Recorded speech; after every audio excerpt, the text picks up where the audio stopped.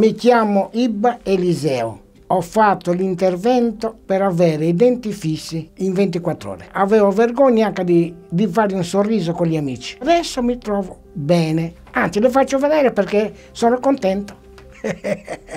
Mastico bene, quando mangio digerisco meglio, prima non ce la facevo digerire e che Dio vi benedica.